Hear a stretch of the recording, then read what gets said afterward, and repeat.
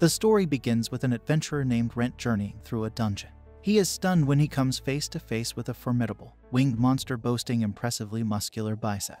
The creature reveals a secondary mouth within its first one, sending Rent into a state of utter terror, realizing he might not survive this encounter. The monstrous creature, resembling a giant Digimon, advances towards Rent, who is trembling uncontrollably. Rent is in disbelief, as his dream of becoming a mithril class adventurer seems to be crumbling before his eyes. His situation worsens when the beast attacks him with both its mouths. After the attack, Rent is shocked to discover he's still alive, but even more astounding is that he's been transformed into a skeleton. Haunted by this horrifying transformation, Rent reminisces about his past when he was flesh and blood, blissfully unaware of his grim future. He used to start his days early, envying the luxurious lives of nobles and scholars who could sleep in. But little did he know, waking up early would soon become the least of his worries. Rent, a low bronze class adventurer, was raised in a small, obscure town. He relied on the Adventurers Guild for jobs, which were assigned based on rank and skill to prevent unprepared adventurers from meeting untimely ends or turning into skeletons. The guild offered a variety of tasks, from exciting monster hunts to mundane material gathering. Despite being approached by some unambitious adventurers, Rent decides to return to the labyrinth due to the lack of appealing jobs. His peers, preferring leisure activities like playing Fortnite, can't fathom Rent's dedication to his work. Rent prefers to adventure alone, not because of a solitary hero complex, but because he's simply not very skilled. Despite a decade of adventuring, he's still only at the second lowest rank. He scrapes by selling items from cautious jobs and lives a frugal life. His life, while uneventful, involves careful planning in every aspect. However, this caution is thrown to the wind when he stumbles upon a secret passage in a well-explored, deserted dungeon. Rent eagerly explores this newfound area, hoping to find magical treasures. His excitement grows as he realizes that even reporting this discovery to the guild could earn him a fortune. Rent fails to recognize the clear danger signs in a mysterious room. Here, he confronts what he believes is a dragon, the most formidable of all monsters. This dragon appears to have evolved into its ultimate form, emitting a presence so intense it paralyzes Rent, making him realize he stands no chance against this colossal dragon. Fast forward to the present, Rent is puzzled about how he's still alive after being devoured by the dragon. He's now just a skeleton, an immortal undead creature. Rent knows he's vulnerable to purification magic used by bishops or priests, as undead beings are unnatural in this world. Despite lacking a brain, Rent is deep in thought. He still has his consciousness and memories, suggesting he's alive in some way. He considers returning to town but fears being captured or executed. Confused about his existence, Rent decides to leave the dungeon and avoid his problems. As he leaves, Rent muses over the mysteries of labyrinths, their origins, and the treasures and dangers within. He plans to seek advice from adventurers coming to the dungeon, but realizes he must figure out how to speak without a tongue. Suddenly, a skeleton monster appears, and Rent prepares for battle. Struggling to move due to his skeletal form, he realizes his physical limitations. As a human, skeletons were easy to defeat, but now he struggles to lift his sword. In a moment of vulnerability, Rent discovers he can still use spirit energy, even as an undead. This boosts his physical ability, allowing him to crush his opponent. Surprisingly, defeating the skeleton lets Rent recover the spirit energy he used. The story then flashes back to a time when a woman taught Rent about monsters. She explains that they evolve with time and experience, becoming more formidable. This applies to humans too, who grow through training, but monsters evolve on a whole different level. She uses skeletons as an example of this mysterious evolutionary trait. Skeletons usually remain unchanged, but sometimes they evolve into ghouls through a process called existential evolution. Rent, now a skeleton, sees hope in this. Ghouls look somewhat human because they have flesh, he thinks if he becomes a ghoul, he could disguise himself with robes and masks and return to town without scaring people with his skeletal appearance. Feeling optimistic, Rent sets a new goal, defeat monsters in the labyrinth to evolve into a ghoul. Meanwhile, in town, Rent's friend is disappointed he hasn't returned and decides to make dinner alone. Back in the dungeon, Rent is making progress, having already defeated five skeletons. He's regained his mobility and discovered that light from defeated enemies heals him, allowing him to use spirit energy in each battle. Looking for stronger monsters, Rent encounters a slime. They're weak but tricky, as physical attacks don't work well on them. Rent, lacking offensive magic skills and able to only start fires, opts to attack with his sword. He knows slimes can be defeated by piercing their core or breaking them apart until they can't regenerate. Surprisingly, he manages to strike the slime's core, defeating it and taking a magic stone as a reward. He also collects slime ooze to sell later, as it's used in cosmetics. At the guild, two people discuss a newbie looking for a party. They consider recommending her to join Rent, but he's been absent. The newbie, needing money, is advised to explore an easy labyrinth for treasure and material, unaware it's the same labyrinth where Rent. In the labyrinth, Rent reflects on his undead state. He doesn't feel sleep or hunger, which is just as well since he couldn't digest food. He's been fighting non-stop, realizing that evolving into a ghoul will take time. However, his physical abilities and mana use have improved. Surprisingly, he can still use his divinity, a power used to cure injuries and illnesses, purify water, and preserve food despite being undead. Rent uses his divinity to preserve some bread for three more days, hoping to regain a normal body that can eat by then. Focused on his goal, he cautiously plans his battles, deciding to flee if he faces more than four monsters at once. In this low-level labyrinth, encountering more than five monsters would likely spell doom for him. Rent is hard on himself for still being weak despite 10 years as an adventurer and 20 years of training. He possesses spirit energy, mana, and divinity, a rare combination even among the highest ranked adventurers. Yet, he wishes for just one powerful ability. Most people in his situation would quit adventuring. But Rent persisted, training daily and learning about monsters and magic from a knowledgeable woman. His ultimate goal is to become a mithril class adventurer, a rank held by those who have saved nations. Despite now being a skeleton, Rent's determination remains unshaken. As he defeats more skeletons, Rent begins to feel stronger than when he was human. After easily taking down another slime, he's sure of his growing strength. Collecting slime goo, he experiences a significant change when light emerges from it. Muscles and hair start forming on his body, followed by skin and eyes. Rent evolves into a ghoul, a significant step forward. Though he's just a dried out corpse, he's relieved to have flesh again. He thinks he might even evolve into a higher ranking undead, like a vampire, if he keeps working hard. Now with flesh, Rent tries speaking but can only produce a roar. After some practice, he manages to say hello and good morning, though he sounds more like a zombie. Later, Rent, now with flesh, battles goblins in the dungeon. These goblins are dangerous in groups, but Rent cleverly uses the dungeon's layout to isolate a few for easier combat. Rent, now evolved into a ghoul, has gained muscle and become more agile than when he was just bones. Surprisingly, his mana, spirit energy, and divinity have all increased, making him stronger. He's now able to enhance not just himself but also his sword, which he uses to swiftly defeat a group of goblins. During his exploration, Rent hears a fight nearby and discovers it's a blonde girl from the guild. She's battling a weak skeleton. Brent is excited to see another human after such a long time, but he stops himself from approaching her, aware of his ghastly ghoul appearance. He decides to watch her from afar, realizing he's never seen her before and figuring she must be a new adventurer. Brent reflects on his knowledge of the adventurers in town, knowing them well since they often mock weaker members like him. So, understanding their abilities and allies is beneficial. Brent continues to observe the girl, noting her training but also her lack of strength.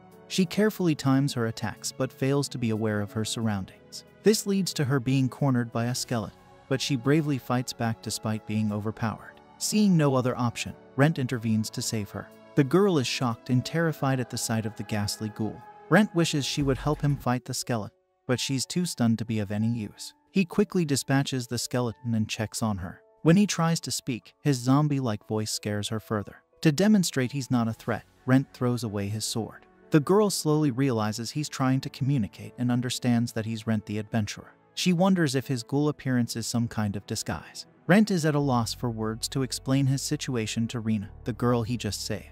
He's technically dead, yet still alive. Rena, realizing he's different from the monsters, thanks him for saving her. Rent reassures her that he's not a threat and asks for her help. She agrees to buy him a rope so he can return to town, and Rent lets her keep the change. Rena introduces herself as the daughter of a knight and promises to help Rent as a way to repay him for saving her. After she leaves, Rent notices her cautious behavior around him. He knows a sensible adventurer would report a mysterious ghoul like him to the guild, but he trusts that Rena, a stranger, won't betray his trust. Back in town, the first thing Rena does is rush to the guild. The guild lady, who was worried about Rena, listens as Rena urgently asks her a question. Meanwhile, in the dungeon, Rent battles another slime and confirms he's much stronger than he was as a human. His body moves precisely as he wants, and he easily destroys another slime. Rent starts to think his improved combat skills come from intuition rather than training or study. Ironically, he only gained this power after becoming an undead. To Rent's surprise, Rena returns to the dungeon. He convinces her that he's the same ghoul she met before, explaining that ghouls don't usually appear on the dungeon's early levels. Rena notices that Rent's speech has improved, and he shares that he's been practicing. Rena brings Rent clothes, but she's still scared of his ghoul appearance. She apologizes and hopes she'll get used to it. Rent appreciates her choice of a mage-like robe that covers his entire body. Rena also thoughtfully brings him boots, gloves, and bandages, explaining she had to ask around town for shop locations since she's new. The bandages, she suggests, can cover his arms and legs, showing that she's considered everything he might need. Rent feels moved by Rena's kindness, but as a ghoul, he can't even cry since his body lacks the necessary functions. After putting on the clothes Rena brought, Rent looks quite presentable. The outfit is more comfortable than he expected, though it slightly hinders his visibility. However, he assures Rena that everything is perfect, as he can still fight effectively. Rena makes an awkward move by showing Rent his now ghastly face in a mirror. Realizing his appearance could be problematic, she presents him with a mask. The mask seems to attach itself to his face almost urgently. To their dismay, they find it won't come off. Both are alarmed, and Rena admits that the shop where she bought the mask seemed a bit shady. She chose it for its low price of just three copper coins and didn't notice any curses when she touched it. Rent surmises that the mask's curse activates upon being worn. Rena is amazed to see Rent using divinity and wonders if he can break the curse. Rent tries, but his energy depletes quickly, leaving the curse intact. Rent reassures her that the mask reacted to his divinity, so he plans to save money and seek a powerful cleric to remove the curse. He starts to distance himself, remembering his monstrous form, but Rena stops him. She acknowledges that Rent is not a bad person and says she's no longer scared, despite still trembling. Rent tells her there's no need to rush in getting used to him being a ghoul. Rena promises it won't take long for her to adjust, and they head back to town. During their journey, Rena shares that she left the capital for Malt because there were no suitable jobs for rookies like her there. Rent is amazed that Rena traveled to the countryside, but she explains her desire to see the world and quickly become a skilled adventurer. Rent advises that being cautious, like him, is wise for adventurers since everyone has only one life. Rena agrees, and they share a laugh over a joke about Rent being a rare zombie. Upon reaching Malt, Rent notes that many locals know him, so using his ID might raise suspicions due to his changed appearance. They choose to enter through a different gate. Rent thanks Rena, acknowledging he wouldn't have made it without her help. He expresses concern about putting her in a difficult position, as aiding him might be seen as a crime, risking her adventurer's license. Rena, feeling indebted to Rent for saving her life, is willing to take that risk. At the west entrance, the guards question Rent's unusual look. The situation escalates when they demand to see his face. Rena cleverly explains that Rent's mask is cursed and cannot be removed, and his strange voice is due to an injury inflicted by a monster. She presents his disfigured ear as proof, adding that the mask was meant to cover his scars, but turned out to be cursed. The guards, sympathetic to Rent's misfortune, allow them to enter after failing to remove the mask. Rena dismisses her actions as mere repayment, but soon after, Rent disappears. He watches Rena search for him, reflecting on her potential as an adventurer. He notes her well-maintained but inexpensive equipment, her decent fighting skills, and her bravery. Rent acknowledges that talented individuals like her usually leave him, so he decides to leave her for now, planning to apologize when he looks more human. Rent's true intention for leaving Rena is revealed when he visits a more suitable human collaborator, someone with a secretive past. He enters a house belonging to Lorraine, his chosen collaborator. Attempting to wake her with his distorted voice, he resorts to threatening to drop a book on her. Lorraine recognizes him despite his covered appearance, but is startled when Rent unexpectedly reveals his ghoulish arm. This bring an end to our episode 1 and 2. Subscribe for more anime recaps. Before Ren got to his friend's house, Lorraine was really tired from working too much while waiting for him. She figured it was pointless to look for the adventure by herself and considered asking the guild for help. Then she heard a knock at the door and knew right away it was her friend by the way he knocked. Feeling relieved to know he was there, Lorraine decided to get some rest, trusting Ren could let himself in. She was mostly concerned about his safety not even considering the possibility that he might have turned into something unnatural. But when he showed up and shared his story, Lorraine was taken aback. Despite her knowledge of monsters and magic, she had never heard of someone turning into an undead from being eaten by a dragon. She wondered if the dragon was still in the dungeon, but Ren wasn't sure, he guessed it had left. Lorraine found his story hard to believe, but seeing Ren's condition confirmed it was true. Red saw that Lorraine stayed calm, which he expected since she was a scholar, mage, and adventurer. Yet, he felt like she saw him more as a research subject than a friend. Lorraine then bluntly asked him if he was sure he was still himself. Ren believed he retained his consciousness and memories, yet he knew he had died and couldn't be certain he was the same person.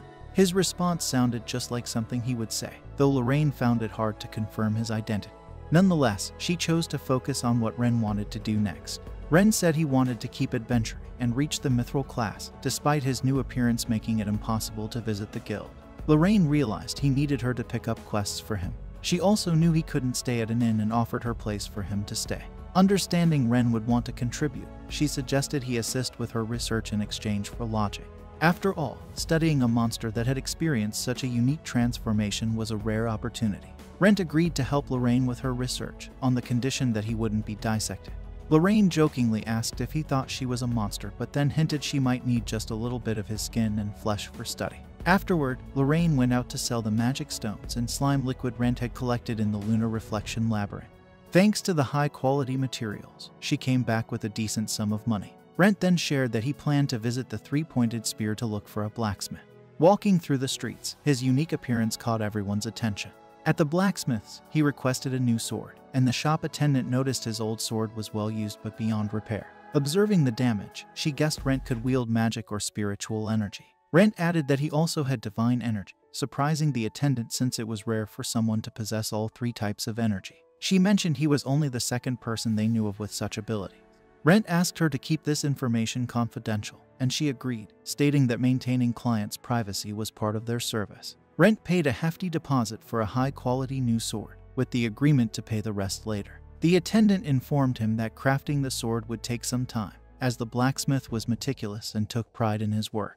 He might also want to consult with Rent during the process. Rent assured her that wouldn't be an issue, as the blacksmith could get in touch with Lorraine whenever he needed to discuss the sword further. While at home, Lorraine dove into her studies on ghouls, undead beings known for their strength and ability to live through severe injuries like losing their head. Her research showed that ghouls often crave the flesh of living creatures, especially humans, and are typically found in dark places like labyrinths. Some stories suggest ghouls arise from dead humans, while other tales talk of powerful monsters that can transform humans into mindless undead, stripping away their personality and emotions. However, Rent's situation, where he retained his memories and emotions, was unheard of in her studies, making him a unique case. Lorraine reminisced about her early days at the guild when she was asked to take Rent, then a beginner adventurer, with her into the Blue Forest to help him gain experience. Back then, despite her significant achievement of becoming the youngest Grand Doctor and earning a Silver Class Adventurer status, life seemed uninteresting to her. She had gone to the nation of Yarlan under the guise of collecting herbs, but in reality, she was just looking for something to do, feeling directionless. During their task, Lorraine aimed to carefully harvest a particular plant, ensuring to get its roots. She asked Rent to bring his backpack for storing the plant, and was surprised to find he had already gathered several plants correctly, roots and all, showing a good understanding of the task despite his inexperience. Their peaceful gathering was interrupted when Rent noticed a goblin aiming at them. He quickly moved to shield Lorraine, telling her to use her magic against the goblin. After she successfully defeated the creature, Rent was impressed, thinking that her magic was on another level because she was a silver class adventurer. Lorraine modestly disagreed, implying there was nothing extraordinary about her magical attack. After the battle, Rent handed Lorraine a cup of water, inquiring if that was her first real fight. Lorraine admitted it wasn't, but she usually had company or guards with her, making her realize that instead of her helping Rent, it was he who had been assisting her. Rent pointed out her apparent lack of experience for someone of her class, which was why people were worried about her venturing into the Blue Forest alone, suggesting his accompaniment as a safety measure. Lorraine noted Rent's extensive knowledge about herbs, and he shared that a seasoned adventurer once told him the importance of education in various fields for adventurers. Realizing she hadn't asked for his name, Rent introduced himself, and Lorraine did the same, asking him to share his knowledge with her, impressed by his understanding of herbs, monsters, and navigation.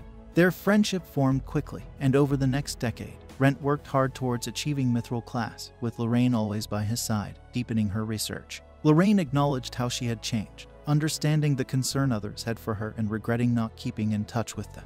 Returning to the present, Rent thanked the blacksmith, Clope, for agreeing to craft a new weapon for him. The girl at the shop lent Rent a sword to use in the meantime, which Clope mentioned could channel magic and spiritual energy, cautioning against using other powers. Despite sensing Rent's troubles, Clope and the girl chose not to pry, suspecting a curse might be involved. Later, Rent cooked dinner for Lorraine, who was thankful. Although noticing Rent didn't eat, he explained his lack of appetite in his undead state. Lorraine shared her findings on ghouls, highlighting Rent's unique evolution, and pondered his future development. Rent expressed his desire to regain his humanity by defeating monsters and evolving further. Back in the moonlit labyrinth, Rent saved a man from a slime attack but was cautious due to the potential for deception among adventurers. Despite this, the man followed Rent, asking to join him after admitting his newness to adventuring and his dire financial situation, hoping to resolve his debt through adventuring. Rent, though wary, decided to let the man accompany him, reflecting on his own identity and the oddity of suddenly having a companion. Despite the uncertainty, Rent and the new guy, the cook, keep moving together. Rent takes him through a hidden path where he had a dangerous encounter with a dragon, thinking it might still have valuable items that could help the cook pay off his debts. The cook is surprised by the discovery, as his map showed nothing there, just a dead end. As they explore, they come across a small entrance leading to another secret area. The cook wonders aloud if Rent could earn some money by sharing this discovery with the guild, but Rent doesn't respond. Understanding Rent's silence, the cook promises not to claim the discovery as his own, recognizing Rent's lack of interest in recognition. Rent suggests they check out the new passage together. They find themselves in an empty room. The cook starts looking for more hidden spots, hoping to find treasure. Rent notices a strange drawing on the floor and tries to caution him, but it's too late. The cook steps on it and vanishes, teleported away by what Rent realizes must be a magic circle meant to transport them to a more dangerous part of the labyrinth. Rent faces a moral dilemma leave the cook behind or follow him potentially into a more perilous situation. Deciding he can't just abandon him, Rent steps onto the circle, instantly teleporting to the cook's location. He finds the cook on the ground, unharmed but shaken. Before they can take a breath, Rent finds himself trapped in a room of the labyrinth with a giant skeleton, realizing the exit has disappeared. Unwilling to give up, he decides to fight, using his divine energy despite warnings against it. To his relief, his sword holds up, and he defeats the giant skeleton with two strikes. After the battle, Rent heals the novice's wounds with his magic, providing limited relief for superficial injury. The novice is surprised and impressed by Rent's prowess, considering the giant skeleton a powerful monster. Rent reveals he obtained a valuable magic stone with the victory and offers it to the novice to settle his debts. However, Rent explains it won't be entirely free. Rent shows the novice a part of his arm, altered after being defeated by a monster. He can't enter guilds or shops, so he needs someone to do it for him. The novice agrees, finding it a straightforward task, but Rent requests free meals at the novice's restaurant in return. The cook agrees, grateful for the help in settling his debts, and offers Rent the freedom to eat at his restaurant whenever he wants. With the deal settled, Rent and the novice prepare to leave the labyrinth. Rent realizes the novice can't see the magic teleportation circles indicating the exit. Trusting Rent, the novice follows his guidance, and they both return to Malt. Rent decides to explore the labyrinth another time. Back in Malt, Rent accompanies the novice to his restaurant, the Red Dragon Tavern, as gratitude for the assistance. The adventurer enters a well-presented place, noticing it seems bankrupt, possibly due to the taste of the food. The cook's wife appears, relieved to see her husband safe but becomes worried when she notices his injury. The guy reassures her, explaining the adventurer saved him and healed his injuries. To their surprise, the adventurer also hands over the amount needed to pay their debt in the form of a magic stone. However, the wife is suspicious, thinking it's too good to be true and worrying about potential deception. The guy, named Loris, assures her that the adventurer is genuinely good-hearted and helped him when he learned about the debt. In return, the adventurer will assist with simple tasks, including allowing him to eat for free at the restaurant. The wife is puzzled as it seems like a small favor compared to the help received, but Loris emphasizes that it means a lot to them in finally getting rid of the debt. Emotional and grateful, they thank the adventurer for all the help. Loris introduces himself and his wife Isabel, expressing their gratitude as the adventurer, Rent, says his goodbyes. Loris, grateful for being saved, asks to know the name of his savior. Rent, wanting to keep his identity confidential, introduces himself, and Loris promises to call him adventurer to maintain the secrecy. Loris invites Rent to his restaurant anytime, expressing joy in serving him. Rent leaves and heads to Lorraine's house. Along the way, he senses something strange and ponders his current state. Reaching Lorraine's place, he notices his vision acting peculiar. Inside, Lorraine asks about his labyrinth adventure and the letters from the Empire. She senses something is off with Rent but assumes he might be drunk. Rent, however, loses control and attacks Lorraine, biting her shoulder. Concerned, she uses magic to make him unconscious. Upon waking, Rent apologizes, explaining that he met a man in the labyrinth whose taste drove him to madness, leading to the unfortunate incident with Lorraine. Lorraine, anticipating the possibility of Rent losing control due to his ghoul nature, uses magic to subdue him. Before leaving him alone, she shows him the wound on her shoulder, explaining that she had just sold her potions to the magic pharmacy. Despite planning to make a healing potion in the morning, Rent decides to use his divine magic to heal her immediately. Lorraine, surprised by the effectiveness of divine magic, feels a pleasant sensation as the pain fades away, leaving only a mark. Rent continues to heal until there's no trace of the injury, astounding Lorraine. Rent notices changes in his appearance, realizing that his mask now covers only his eyes. Experimenting with the mask's responsiveness to desires, he tries to hide his mouth, and the mask obediently covers the lower part of his face. Curious about the mask, Lorraine suggests attempting to remove it. Both Rent and Lorraine try, but the mask remains firmly attached. Lorraine speculates about the mask's nature, comparing it to magic swords with a will of their own. Rent decides to keep the lower part of his face covered, accepting his undead state. Lorraine notices that Rent can now speak more clearly and naturally, and Rent believes he might have undergone existential evolution again possibly turning into the giant skeleton he defeated. However, he questions the timing, as the evolution into a ghoul happened immediately. Lorraine suggests that it might have occurred when he fed on her blood, changing him from a ghoul into a ghast, a weaker servant of vampires. Rent wonders why he turned into a ghast, and Lorraine explains that existential evolution is a mystery even for scholars. She then shares her theory about evolution and asks if Rent wants to know more. Rent agrees, and Lorraine explains that existential evolution happens when a monster transforms into a more powerful being. She mentions Rent's initial form as a skeleton and subsequent evolution into a ghoul. Lorraine hypothesizes that Rent's evolution is driven by his desire to appear as close to human as possible. Rent finds the theory sensible but questions why he didn't evolve into a vampire, which is more human-like than a ghast. Lorraine clarifies that evolution might follow a sequential path, much like the stages of gaining power in the Adventurers Guild. She compares it to experiments with smaller monsters that evolve based on their environment, adapting to factors like fire or water. Lorraine suggests that Rent's evolution might be a passive response to his environment while still being influenced by his own will. Rent contemplates the possibility of evolving into a vampire and eventually returning to his human state. However, Lorraine is skeptical, thinking that only the first option might be feasible and she's uncertain if he can fully revert to his original form. She believes that future existential evolutions might involve more than defeating monsters, especially considering his transformation into a ghast after ingesting her blood. Lorraine promises to support Rent on his long journey and offers to conduct experiments on him to gather data about his new form. She plans to use magic to document his body, perform various tests on a piece of his skin, and examine changes in his sleep and appetite. While Rent is initially hesitant about the idea of undergoing so many experiments, Lorraine decides to postpone them to the next day. The following day, Rent wakes up early to train, realizing that the strange impulses from the previous day have disappeared, and he feels back to normal. However, he notices that his sword, used against the giant skeleton, is severely worn out. Unable to take the damaged weapon into the labyrinth, Rent visits the blacksmith Clope's shop to explain the situation. Clope is displeased with the state of the sword but offers to provide another, slightly better and more resilient, as Rent is one of his valued customers. Rent accepts the new weapon and sets out to continue exploring the labyrinth with the goal of achieving a new existential evolution. Along the way, he encounters Loris and Isabel, who are buying various foods for their work at the Red Dragon Tavern. Lorraine tells Rent that he will be surprised to see harmful substances for humans rolling towards that direction.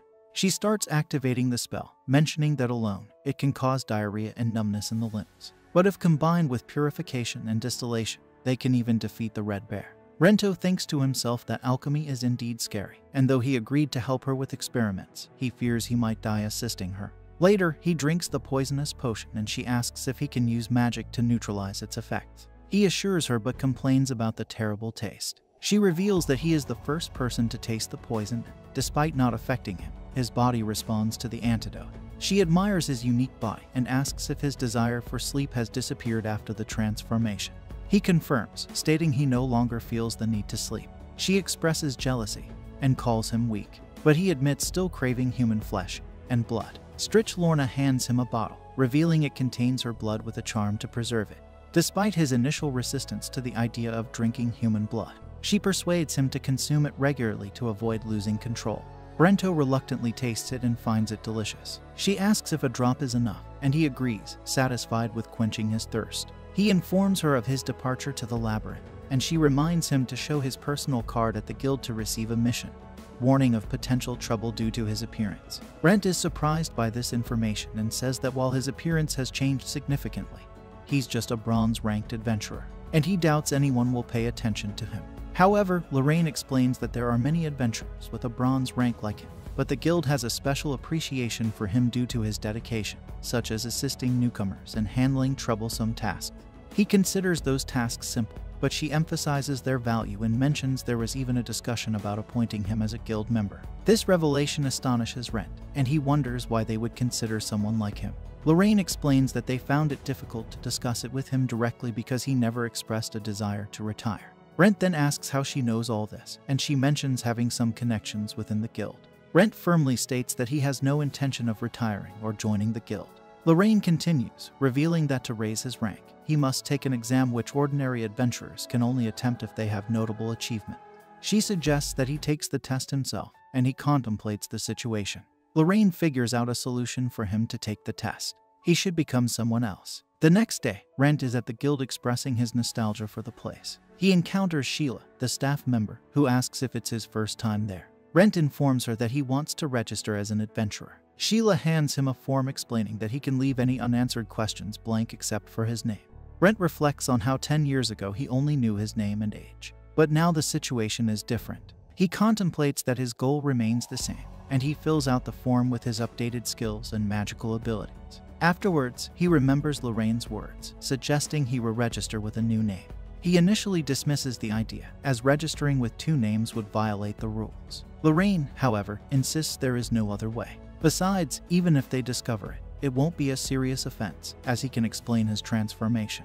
Whereas being known as the person who willingly transformed might raise more questions. Rent completes the registration form under the new name and hands it to Sheila, the staff member. Sheila is surprised to see that his name, Rent, is quite similar to his previous one. Rent wonders if she is concerned about it and she explains that a few days ago, they lost an adventurer named Rent as well. Rent is astonished and asks if she means Rent Faina. Sheila is surprised he knows him and reveals that Lorna informed her. Sheila then mentions that Rent Vivi's family name is the same as Lorna's, and she asks if he is related to Lady Lorna. Rent confirms it, mentioning he is currently staying with her. Sheila acknowledges hearing about it and notes that the news is already spreading. She thought Rent Vivi might be the same as Rent Faina since they share a similar name. Rent realizes it was a wise decision not to tell her about his relation to Lorna, wanting to avoid rumors. He also acknowledges that the name Rent is quite common, and adventurers with unique appearances are not uncommon. Sheila asks him to wait while she finishes the paperwork. Rent reflects on the decision to inform her of being Lorna's relative. He doesn't want unnecessary rumors circulating about her. Sheila returns, hands him his card, and reminds him that the most important thing is his life. Rent thanks her and takes the card, officially becoming an iron ranked adventurer, and then leaves the guild. After that, Rent finds himself in the labyrinth and is surprised by a strange sound. He discovers a group of children fighting a small imp. Rent realizes that they are novice adventurers, likely undergoing spiritual training despite their young age. He observes their good cooperation and decides they will be fine. He leaves them and thinks to himself that he used to guide newcomers in the past, but with his current appearance, he might only scare them. Rent quickly heads to another location in the maze, acknowledging that valuable information about mazes can be exchanged for money. He plans to explore a new area and report back to increase his achievements as he stands in a new and peculiar place, surrounded by numerous books and items. He notices a skeletal structure lying on a bed. He wonders if people once lived in this part of the maze. Suddenly, he hears a girl's voice asking him what he's doing there. Rent hesitates to respond. The girl repeats her question, asking what he's up to. Rent stammers, explaining that he was just searching the area to see if there was anything valuable. He emphasizes that he's an adventurer. The intimidating girl assumes he's a thief, asserting her boundary and warning him that he'll die in this place if he crosses them. She then uses a powerful spell to strike him with a fiery sphere, causing him to fall and sustain a serious injury. Rent tries to stand up, but the girl is astonished by his strange body. She accuses him of being the cause of his peculiar form. But Rent protests, stating that he didn't choose this body. The girl, still skeptical, is taken aback by his appearance. Rent reassures her that he means no harm and he is not responsible for his current state. At that moment, the girl lowers her hand from the attack and apologizes for the misunderstanding. She approaches Rent, expressing regret for almost killing him and acknowledges the misconception. She then removes her cloak, telling him that she's unsure if it will compensate him but gives it to him, stating they will be equals. The girl informs him that the place is crucial for her and asks him to keep it a secret. She assures him that no one can enter without it, but she acknowledges that adventurers should not return empty handed. To maintain a balance, she gives him the magical map of Acacia, an enchanted tool that automatically records the rooms he passes in the labyrinth. So the girl then uses her magic to transport him to another location in the maze. After finding his way back home, Lorna notices the map and questions if he is cursed or encountering strange things. Rent reassures her, explaining that he did not choose this path but is dealing with unexpected events. He shows her the magical map, and when he attempts to use his magic on it, it doesn't respond. Lorna understands, and Rent realizes that the tool is safe to use. The tree decides to test it by casting a spell on the map. Surprisingly, the map reacts, displaying the reflected moon labyrinth, the same maze he was in a moment ago. Rento concludes that the magical map is secure and can be used without any curses or issues. Lorna is astonished by the magical map, and suddenly she notices two marks pointing to the locations of two people. The names Rise and Laura appear on the map, indicating the presence of these adventurers. Rento informs Lorna that he encountered them recently in the labyrinth. Lorna is surprised that the map displays the names and locations of people in the maze, considering it a frightening ability. She requests Rento to reveal the map of other mazes. Rento tries to display the crescent maze, but the map only shows areas he has explored before. He recalls the girl's explanation that the map automatically records the regions the owner traverses. Lorna examines Rento's cloak, and he asks her to check if it is cursed. She assures him that it seems fine and is likely resistant to magic. Later, Lorna expresses her belief that the cloak has high protective ability. Rento is relieved and happy with the benefits of the deal. However, Lorna redirects his attention, questioning the identity of the girl who almost killed him. Yesicles, Rento admits he knows nothing about her, only that she possessed immense strength. Lorna suggests there might be a technique allowing someone to create a living space within the maze. Despite Lorna's warning, Rento decides to visit the girl again. Lorna advises against it, but Rento is determined to have another conversation with her. As he walks through the maze, he encounters a skeletal structure, recalling Lorna's words about the cursed. The memory of the day he discovered the secret area in the maze and encountered the dragon, leading to his transformation into an immortal monster, crosses his mind.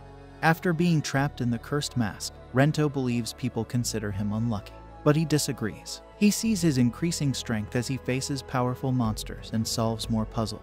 Despite the rumors of being jinxed, he feels a sense of adventure comparable to someone in the mithril rank.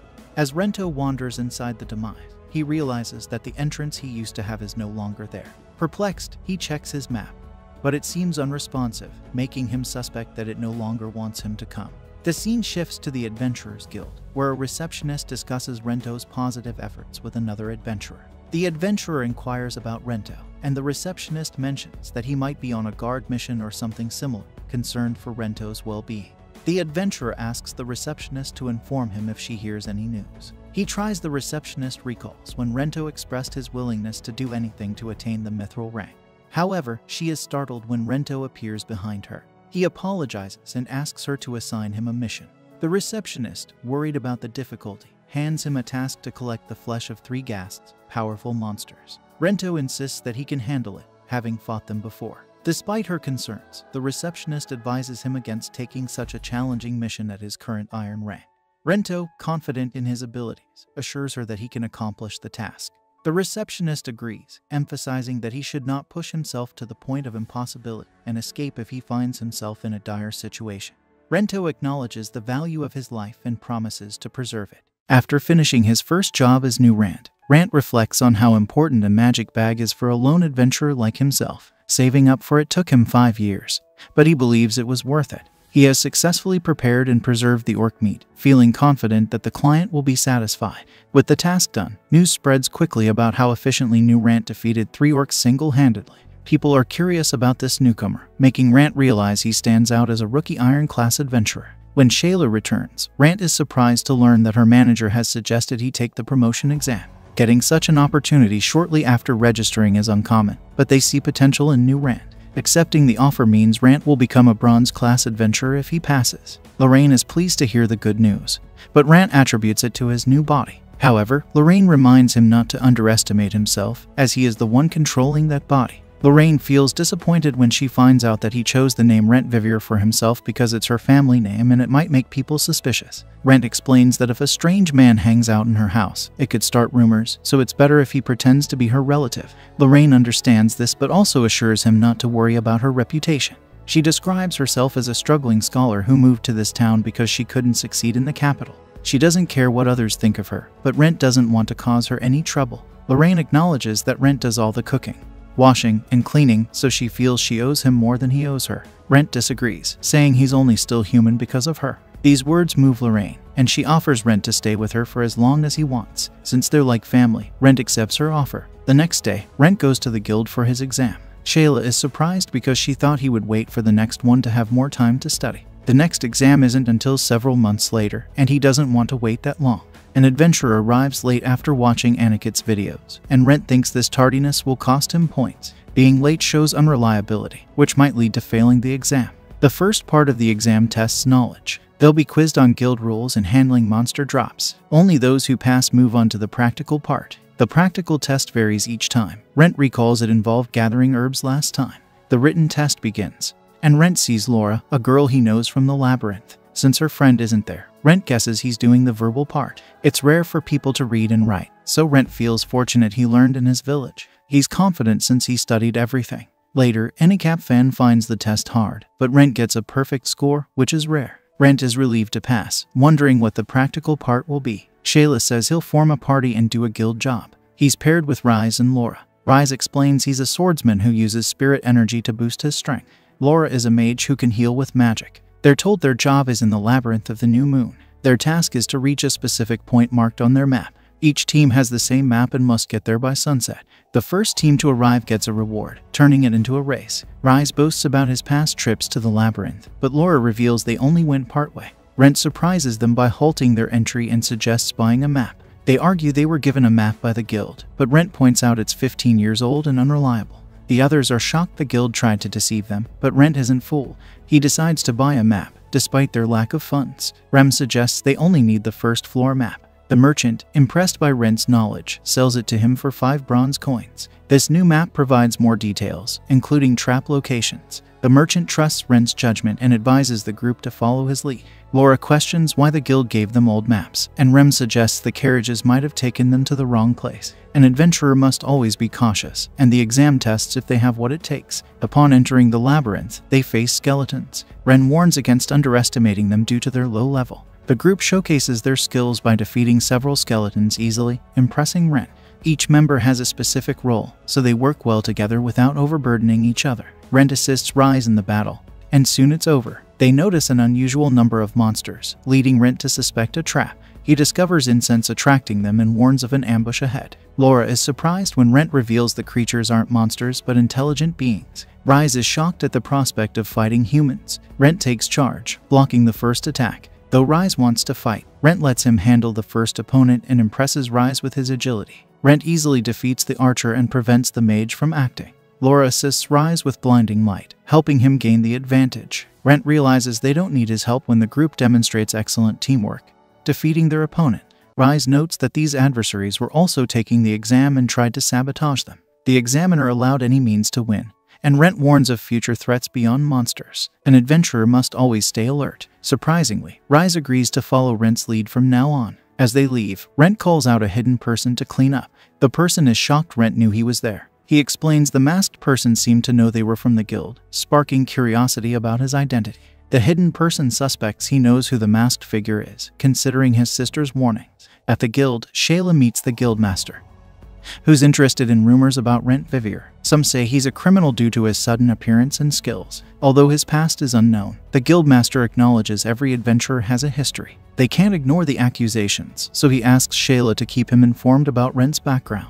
In the labyrinth, our group is near the destination. Ahead lies one of several boss rooms on this floor, the only way to reach the destination. The young adventurers have never faced a boss before, something two iron-class adventurers can't handle. Rise feels offended when Rent questions if he's scared, but Rent explains it's okay to avoid a fight you can't win. Some other examinees show up, and Laura is surprised when Rent says it's perfect timing. This new group insults our heroes, calling them weirdos. Rent doesn't like being talked to like that. When they target Laura, Rise defends her. The guys keep pushing, so Rent warns them. They try to brush it off as a joke, but Rent doesn't find it funny. The leader suggests they go first, and Rent agrees, wanting his team to rest. The guys enter the room, boasting about going first. Rise worries it means they'll lose, but Laura trusts Rent's decision. Rise thinks Rent wants them to watch a boss fight first, but there's more to it. Suddenly, they hear screams from the first group, who are carried out. Rent explains that guild employees rescued them, so even if they lose, they won't die. He wanted them to see this to reassure them,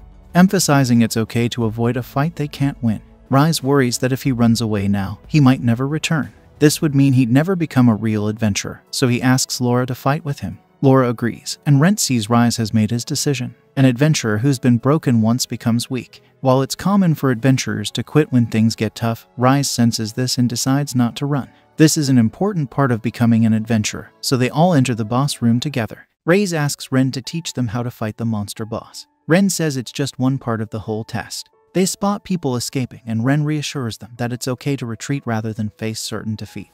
Rise insists that fleeing means giving up on their dreams of becoming true adventurers. Laura is surprised, but Ren urges them to decide. The three heroes enter a gate and encounter a huge slime. Reese and Laura prepare to fight, but Ren says it's not necessary to defeat the leader. He hopes others will handle it, but facing challenges is crucial. Rise fights the slime while Laura focuses on enhancing her magic, as Ren suggests. He emphasizes that magic is necessary against the slime, not physical attacks. Laura confirms her ability to wield potent fire magic, but it takes time to activate. Ren promises to shield her from the slime's attacks while she prepares the spell. Rise asks if he can help with the attack, and then we snap back to the present as Rizzy continues to assail the large slime. Laura requests Ren's aid for Rise, assuring him she can handle the situation alone. Ren joins Rise in assaulting the slime while Laura completes her spell, unleashing a powerful blaze that vanquishes the creature. Ultimately, they succeed in defeating the monster leader. Ren informs them of the various benefits of slime fluids, suggesting they gather some and split the earnings among themselves, ensuring each receives at least a share of silver. As they collect the slime fluid, three individuals suddenly emerge, releasing a sleeping gas. Ren explains how people often drop their guard near the end, falling into traps like this. Laura reminds them that reaching the goal first doesn't guarantee success in the exam, citing the Guildmaster's instructions to reach the designated point on the map. She recalls the Guildmaster's emphasis on rewarding teams based on their efforts, not just their speed. Returning to reality, Laura points out how their mindset turned the exam into a race, explaining why Ren didn't protest when the other team passed them, despite being ahead near the monster leader's chamber. Ren elaborates that an adventurer's main duty is to complete their given task within the set time frame, emphasizing the importance of personal initiative in becoming a true adventurer. They enter the room, where a man congratulates them on being the first to arrive. Laura requests proof of his affiliation with the guild, and he provides it. After rummaging in his bag, he hands them three necklaces or tokens, instructing them to present them at the guild's reception desk to attain bronze rank. He admires the tokens and inquires about the additional reward they mentioned. The official explains that the top three teams will receive a modest reward, then distributes potions and a bag to each of them. Rise expresses his joy at receiving one of the bags and suggests an idea, taking a short trip before returning to the guild. The scene transitions as they descend to the second floor, unsure due to the complexity of mazes, akin to the labyrinthine tunnels of Gaza. As the scene transitions to their arrival, everyone marvels at the sight of the sun. Laura shares that each floor in this place holds unique wonders, leaving them all in awe of the vast beauty surrounding them. While expressing a desire to explore further, Ren advises against it, reminding them that the exam isn't complete until they return safely. The scene shifts to their arrival at the designated place, a location untouched for a long time, filled with perilous traps along the way. Ren stresses the importance of caution in this deceptive guild, warning against being misled. They receive three tokens from the attendant, signaling the end of the bronze rank exam. Curious about what this entails, Rise questions the attendant, who hesitates before a boy hands her a report to share. Ren explains that the boy had been observing them throughout the exam, assessing their ability and character. The boy confirms their success, reassuring them. With a gentle smile, the guild attendant congratulates them on becoming bronze rank adventurers. Rise and Laura rejoice, feeling true happiness in their newfound adventurer status. Ren expresses gratitude for their company, but Rise insists they owe him thanks instead. They credit him for their growth and express a desire to continue adventuring together. Laura acknowledges the impossibility, but expresses a wish for more adventures with him. As they depart, the guild attendant compliments Ren, likening him to a paternal figure. She then hesitantly asks him a favor, trusting his intelligence to understand her unspoken inquiry. Ren ponders aloud, suspecting she knows his true identity. When she questions the guild's potential punishment for his past actions, Ren decides to preemptively withdraw from the guild, refusing to face any consequences. He moves to depart, but Sheila grabs hold of his clothes, insisting on learning the truth about his situation. She leads Ren to an empty house for a private conversation. Ren admits to considering escape but was moved by Sheila's genuine concern. He confides in her about his current predicament and his desire to keep the guild uninvolved. Sheila reassures him of her discretion, explaining she hadn't informed the guild due to uncertainty. She only shared some details with her brother, who was observing Ren during the exam, trusting him to keep the secret. She urges Ren to confide in her, but he remains silent. Acknowledging his difficulty in trusting her, she presents a magical contract as a gesture of assurance. Sheila explains that breaching the contract would result in a magical punishment, compelling her to leave the guild and become enslaved in a country where such practices are legal, transferring ownership to another. Ren hesitates, finding Sheila's proposal too drastic. He questions her motives for going to such lengths, and she explains her desire to aid him out of personal gratitude rather than guild obligation.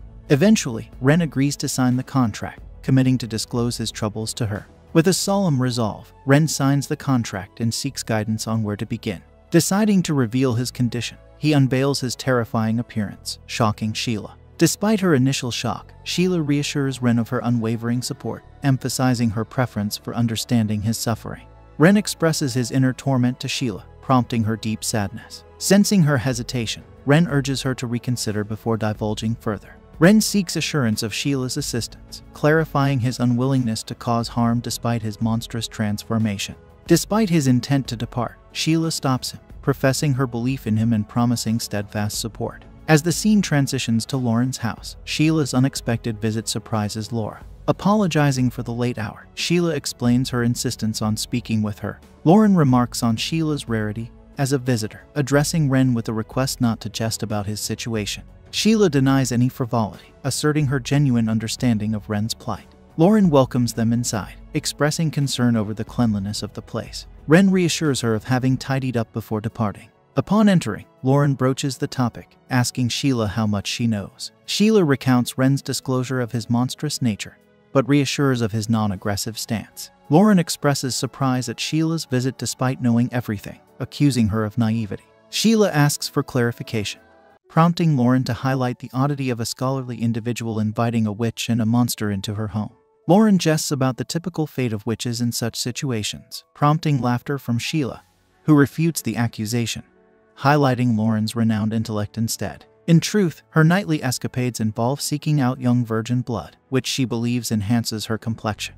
The guild employee doubts her story, prompting Lauren to reveal Ren's current condition. Shocked and saddened, the guild employee acknowledges her awareness of the situation.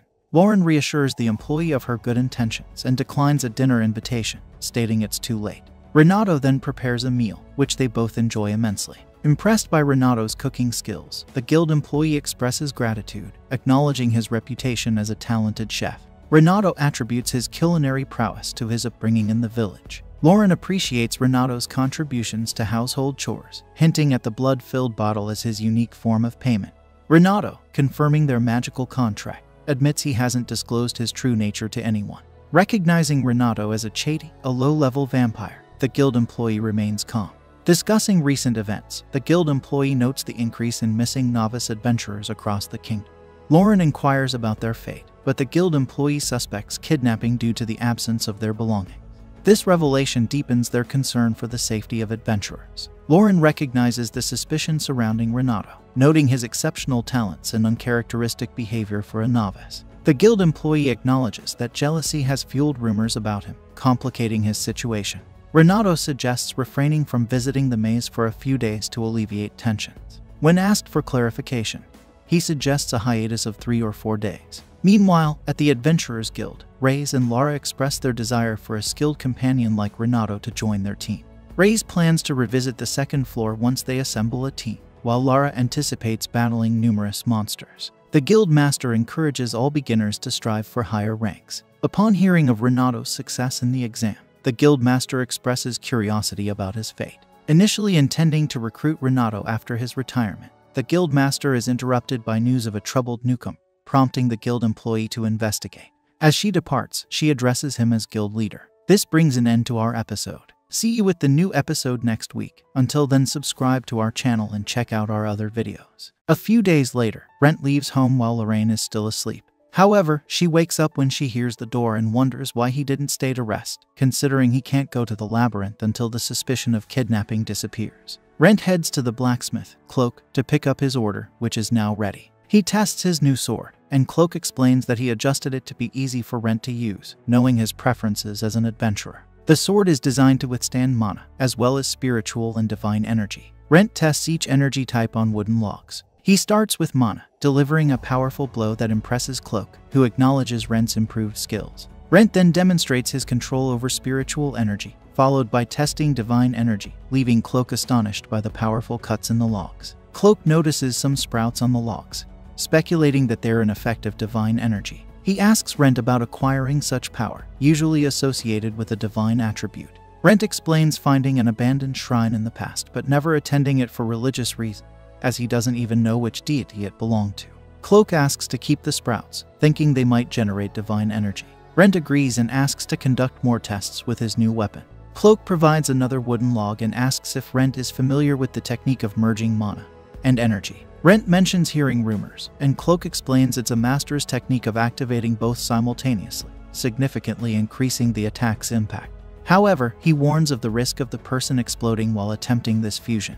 Despite knowing the dangers, Rent decides to proceed with the fusion, reasoning that even if his body explodes, he probably won't lose his life with his current body. Seeing Rent's determination, Clope gives him a cheaper sword for the test, ensuring the safety of his new weapon. Rent charges mana into the sword and channels spiritual energy into his other hand. He feels immense power but struggles to control it. With great effort, he unleashes a strike that completely destroys the wooden log, impressing Clope and making him wonder about the potential if Rent combined it with divine energy. Next, Rent decides to fuse all three elements, believing he needs considerable power to advance as an adventurer. The resulting power is so intense that it causes the sword to crack. Rent quickly launches his attack before the weapon disintegrates, transforming the log into a ball. After completing the tests, Rent apologizes to the blacksmith for damaging the sword. Clope reassures him, explaining that divine energy removes impurities and restores matter, making it unsuitable for use with a normal weapon. He hands over the ordered sword, warning that while he crafted it to withstand divine energy, it couldn't handle the fusion of all three elements, supporting at most mana along with energy. At that moment, Rent remembers meeting the mage and asks Clope what he should do if he faces an opponent he can't beat. The blacksmith suggests buying more weapons, but Rent explains he doesn't have enough money for that. So, Rent leaves with just one sword, deciding to combine mana and energy, determined to earn more money to buy better gear and become a mithril class adventurer. On his way home, Rent sees an adventurer arguing with a boy who wants to pay for a service not approved by the guild, which seems suspicious. Needing money, Rent steps in and offers to take over the job. The man gives Rent the payment from the boy and walks away. Rent tells the boy, Runti, that he doesn't promise to accept the task but is willing to listen. Runtis explains that he needs someone to kill the Lake Master. So, Runtis explains to Rent and Lorraine that he's from the village of Tatsu, which is a few days' journey from Maalt. He tells them about the village annual festival, where they follow an old tradition by offering a beautiful maiden as a sacrifice to the Lake Master to save the village. Runtis goes on to say that the real Lake Master has appeared recently, eating the sacrificed maiden and now demanding more sacrifices, including his sister. Rent agrees to take on the job, not just to kill a monster but to save Runtis' sister. They set off in a cart, and along the way, they notice the eerie silence of Tatsu. Runtis explains that the village used to be livelier before the Lake Master showed up. When they arrive at Runtis' house, Rent notices a mark on the door, indicating that their family is next to offer a sacrifice. Runtis believes the marks are left by the Lake Master's servant, a Kelpie. Rent remarks on the strength of Kelpies, and just then, Runtis' sister, Amaris, opens the door. Runtis excitedly introduces Rent as the person who's going to help, but Amaris remains serious and pulls him inside for a private conversation. Amaris warns her brother not to trust strangers from the city and says that the adventurer seems suspicious and might be lying to them. They argue, and Rent overhears everything with his heightened monster hearing. Later, Amaris thanks Rent but insists that Tatsu's festival is an ancient tradition that can't be changed, and he should leave and pretend nothing happened. However, Rent refuses, explaining that since he accepted the job from Runtis, only he can cancel it. Runtis is relieved and confirms that he won't cancel the job. Seeing there's little they can do, Amaris allows Rent to stay in their house but asks him not to disrupt the festival taking place the next day, as she is willing to be sacrificed. Rent spends the night at their house, explaining to Rumdes that trying to rescue Amaris wouldn't be helpful based on what he observed. However, Rumdes insists that he'll do anything to save his sister, even if it's dangerous. The next morning, Rent goes to the lake's edge to explore the area before the festival starts at night. He sees a merchant offering fruit to some children in exchange for them telling their parents about it, as he hasn't sold anything in a while. Rent tries to ask the children a question, but they get scared by his appearance and run away. Realizing Rent is not from the village, the merchant guesses he's there for the festival and advises him to leave because it's not safe for visitors, especially since the lake's master is in a bad mood, which explains why nobody is interested in buying anything. Just then, Rumdes calls Rent for lunch, and Rent says goodbye to the merchant, who once again suggests that he leaves. Rent finds this suspicious and asks Rumdes if he knows the merchant. Rumdes confirms and explains that the merchant is well known in the village and helps the residents. Later, preparations for the festival begin, and the village women express sympathy for Amaris, who has been chosen for sacrifice. One of them mentions how Rumdes has been trying to convince the villagers to end the festival, showing his desperation to save not only Amaris, but all the girls who will also be sacrificed. Amaris cries upon hearing this and then finishes getting ready alone. Rent seizes the chance to speak with Amaris. When she notices him, Amaris tells Rent not to come closer because the sacrifice should avoid contact with others without a reason, and Rent respects her wish. He talks to Amaris from afar and assures her that he and Rumdes will find a solution, urging her to resist as much as possible. Amaris believes it's impossible to defeat the Lake Master, but Rent persists, asking her not to do anything to make her brothers sad since they only have each other. With Rent's encouragement, Amaris decides to fight for her life just as the festival is about to start. The villagers prepare to send Amaris, and a treasure as an offering to the lake where the master resides, apologizing to her and saying it's for the village's benefit. Amaris acts as if she accepts her fate, but Rent and Rumdes accompany her to the lake. After a while in the water, a fog mysteriously appears, obscuring their vision. Then, a globe included with the offering starts glowing, and they spot a light in the distance, realizing that the lake master has arrived. Suddenly, a massive kraken appears, and Amaris starts pleading with it to protect the village in return for her sacrifice. Rent finds a way to intervene and tosses his glowing globe into the lake, pretending it's just a simple lantern. Then, using a magical item given by the alchemist Lorraine, Rent jumps into the water and walks on its surface. Armed with his sword, Rent is determined to expose the master's true identity. As the monster launches a fire attack, Rent notices something odd. Krakens, being sea creatures, don't have fire abilities. Confident it's an illusion, he approaches the monster, confirming his suspicion. Rent spots a ship nearby and sees the wizard who created the illusion and launched the fire attack, along with the merchant he met earlier. The merchant warns Rent that if he had listened and left, he would have been spared. They all attack Rent, but he stands his ground bravely. When Rent's siblings break through the fog, they find him near a wrecked ship.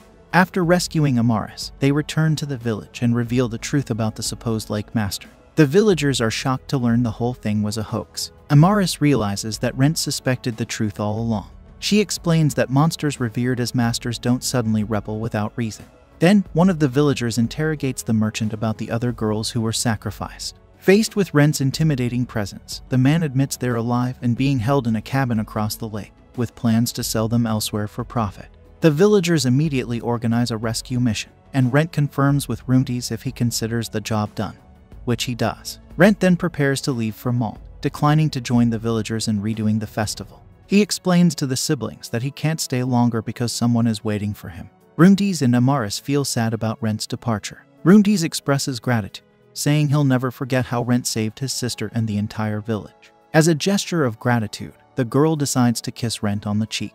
After saying goodbye, Rent departs in a carriage, pondering that the merchant and other kidnappers mentioned they only targeted women, suggesting they may not be involved in the disappearance of the novice adventurers Sheila mentioned. Upon returning home, Rent informs Lorraine that he completed his mission, saving Rumdes' sister's life and all the other girls offered as sacrifices. He expresses gratitude for the magical item she lent him, which helped him walk on water. Lorraine mentions she would have liked to meet the Lake Master if he existed, but Rent thinks it's good she stayed behind for another task. Later, Lorraine suggests that Rent may have won the saved girl's heart, reminding him of her gratitude. However, Rent believes adventurers are often forgotten, expecting the girl to eventually move on from him as well. Rent enters the guild and checks the requests on the board. Although the rewards aren't enticing, he knows adventurers aren't just in it for the money. They help people whose requests might not get accepted by the guild. Sheila asks if Rent is interested in any requests, but he declines, sticking to his promise of avoiding labyrinths for a while. Sheila tries to find an easy request for Rent, and he asks if anyone has taken the bronze coin request. Sheila informs him that it's challenging, involving gathering dragon blood blossoms near a poisonous swamp. Legend has it that these blossoms originated from a dragon's blood who fell in love with a human girl. Rent isn't fond of the legend, but Sheila mentions rumors that whoever presents the flower to a girl will earn eternal love. Rent wonders if the plant has medicinal property, and Sheila explains that the client needs it for medicine, as the orphanage children put up the request to save someone important to them. Rent surprises Sheila by deciding to take up the request, showing his willingness to help despite any expectation. Arriving at the orphanage, he's taken aback by its dilapidated condition, not expecting it to be so run down. When he attempts to use the door knocker, it comes loose from the door, prompting him to use slime fluid to reattach it. Instead of risking the knocker again, he opts to knock with his knuckles. A young girl answers the door, mistaking Rent for a debt collector due to his unexpected arrival. She explains that their chairman, Lillian, is currently absent, suggesting Rent return another day. However, before she can finish her sentence, she realizes Rent's identity as an adventurer there to fulfill their guild request. Apologizing for the confusion, the girl welcomes Rent inside the orphanage. Upon entering, the children are curious about Rent's presence, prompting the girl to introduce him as an adventurer. They eagerly approach him with questions, but the girl reminds them to exercise caution around adventurers, as some can pose a danger. Acknowledging her concern, Rent assures the girl that not all adventurers are risky, but it's wise to be cautious. He advises the children to be wary of suspicious individuals. Impressed by their honesty, Rent appreciates their trust and emphasizes the importance of their safety. Pleased with their sincerity, Rent is touched by their happiness despite their circumstances.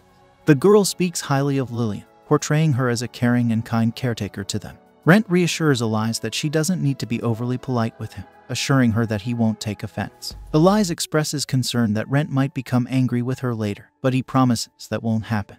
Introducing himself as a bronze-ranked adventurer, Rent surprises Elise, who expected only an iron-ranked adventurer to accept their request. Recognizing her knowledge about adventurers, Rent wonders if she's the one who posted the request. Elise confirms that she did and introduces herself to Rent. Deciding to discuss the request further, Rent acknowledges the difficulty of obtaining the plant.